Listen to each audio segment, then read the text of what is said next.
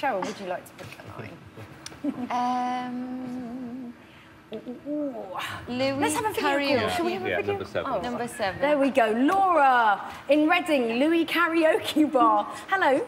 Hey, we can Hiya. see you and your Hello. mates. Hiya. Hello. Hiya. Um, my question's for Louis.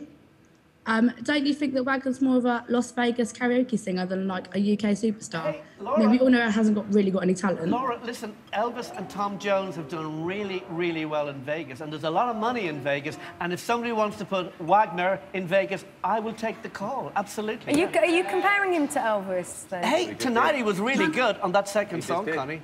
You know, he's got a lot of negativity on the show. I want more positivity for And you Wagner. compared who to Lenny Henry? Oh, yeah, this is true. You're doing a lot of comparisons this week, Louis. Weird comparisons tonight, Uh, yeah, That's so okay. thank you very much, Lauren. Thank Is you. all right? Bye, Cheers. Laura. We've got time for, for another. Dannii? Uh, line eight. Thank you.